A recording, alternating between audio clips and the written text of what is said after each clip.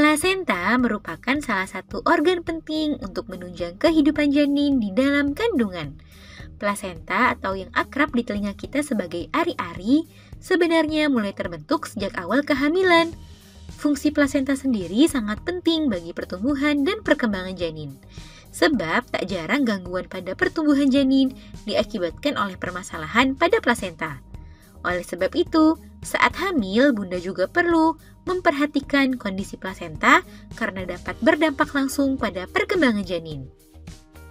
Kira-kira apa saja ya manfaat plasenta atau ari-ari yang sangat penting bagi kehidupan janin? Yuk kita bahas, Bun! Eits, sebelum dimulai, jangan lupa support channel ini dengan cara klik tombol subscribe yang ada di bawah agar dunia bunda semakin semangat menyampaikan informasi yang bermanfaat. 1. Menyalurkan oksigen dan nutrisi. Saat di dalam kandungan, janin mendapatkan nutrisi dari makanan yang bunda konsumsi. Sebab nutrisi dari makanan yang bunda konsumsi tersebut akan mengalir ke darah dan dialirkan ke dalam plasenta. Selain nutrisi, darah juga akan mengalirkan oksigen yang penting untuk menunjang kehidupannya. Setelah sampai ke plasenta, nutrisi dan oksigen tersebut akan ditransfer langsung ke janin melalui tali pusar yang terhubung dari plasenta ke janin. Hal inilah yang kemudian menjadi makanan dan asupan utama janin untuk mendukung pertumbuhan dan perkembangannya.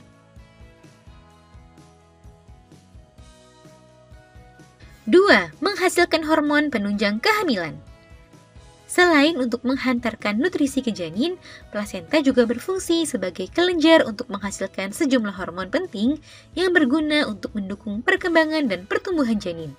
Hormon-hormon tersebut dapat menunjang kehamilan seperti untuk meningkatkan aliran darah, merangsang pertumbuhan rahim dan jaringan payudara, memperkuat lapisan rahim, serta membantu tubuh dalam menyerap dan mengolah makanan.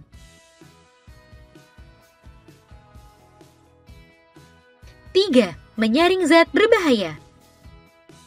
Saat menghantarkan oksigen dan nutrisi, plasenta juga berfungsi menyaring darah untuk menghilangkan zat-zat berbahaya dan zat buangan yang tidak dibutuhkan oleh janin seperti karbon dioksida. Zat sisa tersebut kemudian akan dikembalikan ke aliran darah bunda, lalu akan keluar bersama sisa metabolisme yang bunda hasilkan, sehingga plasenta dapat melindungi janin dari zat dalam darah yang berbahaya untuknya.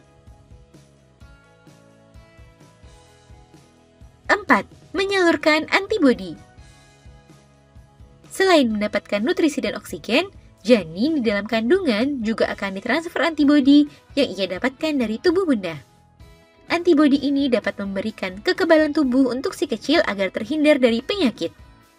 Namun saat lahir, penting bagi bayi untuk tetap mendapatkan imunisasi agar ia terhindar dari berbagai virus berbahaya.